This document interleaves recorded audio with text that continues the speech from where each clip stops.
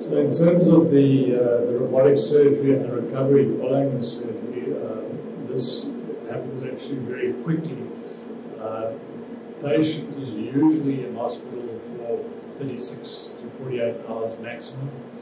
Uh, you don't go to ICUs because there's very little blood loss.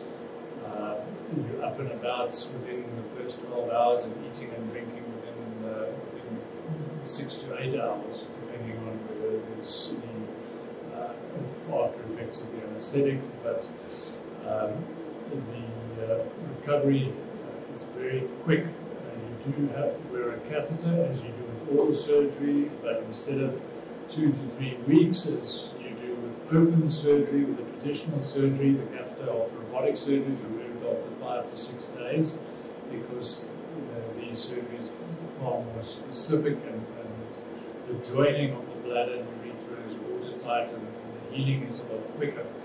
In terms of going back to work, uh, I hesitate to say this, but we've had some patients back at work within a week to 10 days.